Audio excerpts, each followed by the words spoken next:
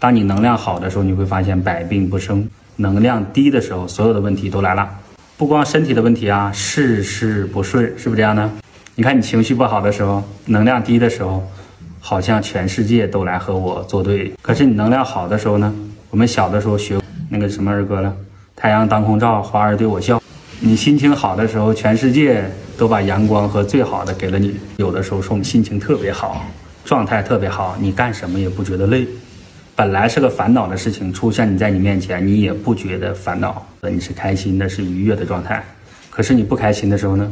一个风吹草动都有可能让我们产生痛苦啊！一点小事情都可能让我们升起更大的波浪和烦恼啊！改变自己的思维和认知，让自己不处于低能量的状态，这个时候你所有的毛病无从升起。所以我们要懂得内外结合。那身体有什么问题的治身体？那最重要的是什么？调节自己的心理状态，调节自己的能量状态，你的能量在变好，心情在变好，所有的东西自然跟着变好。